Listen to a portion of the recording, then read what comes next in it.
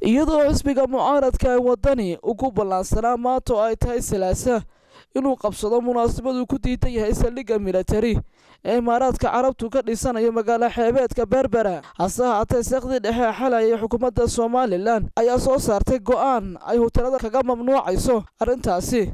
Subaxdii hore saaka ayaa hutel maasoor ee magaalada hargeysa lagu daadgurayay ciidamada amniga somalilan si ay uga hor istaagaan inuu xisbiga mucaaradka ee wadani ku qabsado munaasabadani uu ku diidan yahay saldhigga militari waxaana mas'uuliyiintii iyo taageerayaasha xisbiga wadani laga hor istaagay inay gudaha u galaan hoteelka maasoor oo ahayd halkay munaasabadu ka dhacaysay.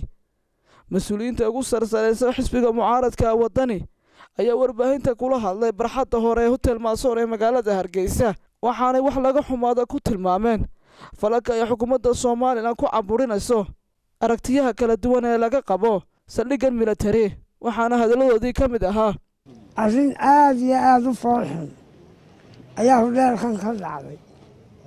Hodheelku wuxuu naga kareeyey hool hoolkiibaa dadku yimaadeen qaar kaloo imanayana iriddaa horaa loogu sheegay in shirkii aanu jirin oo qaar badan la celiyey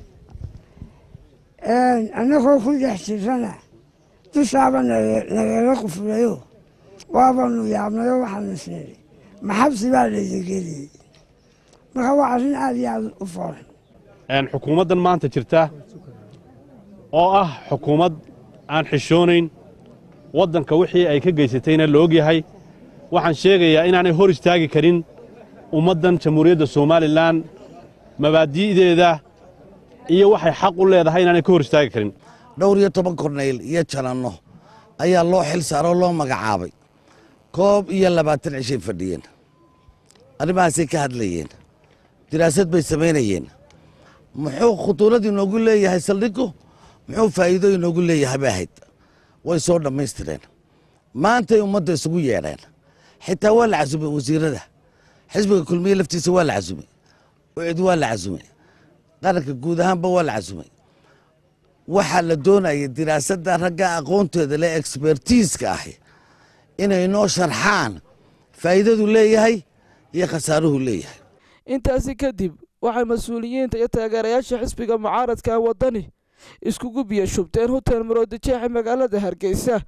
Waxaanay halkaasi ku soo bandhigeen aragtida fog ee xisbiga wadani ku diidan yahay saldhigga militari iyo dhuundaloolooyinka uu somalilan u horseedi karo saldhigani waxaanay mas'uuliyiintani ganafka ku dhufteen eedoomo uga yimid xisbiga talada haya ee kulmiye iyagoo amuurahaas iyo amuuro kale ka hadlaya ayaa waxaa hadaloodii ka mid ahaa sida tan markaad xukuumad ku aragtid had iyo goolaale xoog iyo muruq iyo hadiyaad iyo cagashuulayn iyo mamnuucid iyo xabsi iyo xil qofka ah samaysaa waa la yaqaanaa calaamadaha xukuumaddaasu leedahay waa calaamadaha markay xukuumadaasu daciifaan ee baqaan waa maanta waxa weeyaan runtii waxay ka mid noqon doontaa maalmaha taariikhda somalilan ku suntan bay ka mid noqon doontaa.